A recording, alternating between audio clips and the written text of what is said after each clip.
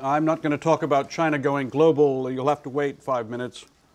I'm old school, so there's no PowerPoint. We're, we're studying, um, we're, we have a, a three-year project, which is about half elapsed. So we'll soon have some things to put, to draft work to put on websites. There are 19 of us in our project, and we're studying the political and policy processes that have led four governments in uh, the last uh, 10 or so years to intensify efforts to tackle poverty and inequality. The four governments are in Brazil, India, China, and South Africa. Now, we ask why governments, and more specifically, why uh, key actors within governments adopt initiatives to tackle poverty and inequality. Uh, in short, and putting it very crudely, the answer is in India and Brazil, they do it for votes. And in uh, China, they don't need votes. And in South Africa, the ANC doesn't yet need votes or think it needs votes. So they, in China and South Africa, they mainly tackle poverty and inequality to reduce protest, disorder, and instability, which is reaching substantially uh, worrying proportions for governments. One, over 100,000 collective protests in China last year, for example.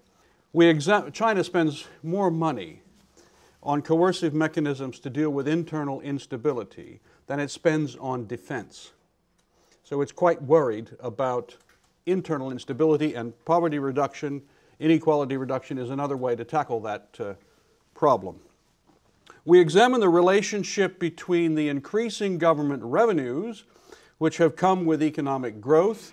They've increased to different degrees in the four countries, but they've increased everywhere. The relationship between increasing revenues and um, uh, the new initiatives which governments undertake spending those revenues. We also consider uh, the political and policy inheritances from the recent past which each of these governments uh, has to deal with. It shapes what they do now. And we find many, in many cases that um, they break out of uh, path dependency, old practices, and innovate. So I think it's possible, Khalid, for you to add our project to the uh, innovating studies list. Um, we find quite a lot of innovation in China, India, and South Africa less innovation in Brazil because uh, in Brazil, earlier governments tackled poverty and, and, especially inequality before this began to happen on a big scale in India, China, and South Africa. But in most cases, what we're finding is that political agency, the actions of politicians and of uh, bureaucrats in some cases, uh, agency for political innovation and policy innovation uh, this counts for much more in these cases than the literature might suggest.